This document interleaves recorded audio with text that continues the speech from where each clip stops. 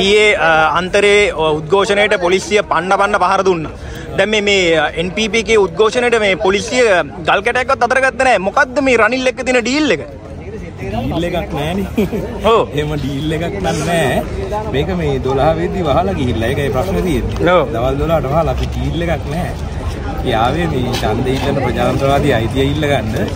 ඉතින් ඒකට උද්ඝෝෂණයක් තමයි කරේ. සාමකාමී උද්ඝෝෂණය. උද්ඝෝෂ මෙහෙමයි. ගහන එක කියන්නේ මේ ගිහිල්ලා පොලිසියේ ඉන්න මිනිස්සුන් ගහලා හරි ඒක නෙමේනේ.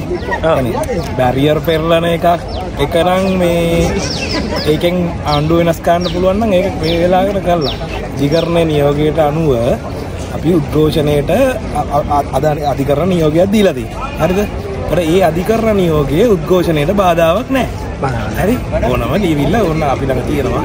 ඉතින් අපේ අධිකරණයට මේ ඒ කියන්නේ අධිකරණ නියෝගය දීලා තියෙන්නේ මෙතන සාමකාමී උද්ඝෝෂණය කරන්න බාධාවක් නැහැ. NPP එකේ රැල්ල චුට්ටක් අඩ්ඩි අඩ්ඩි වෙලානේ. චුට්ටක් වගේ. කන්දයක් තියලා පෙන්නන්න එතකොට කියන්න.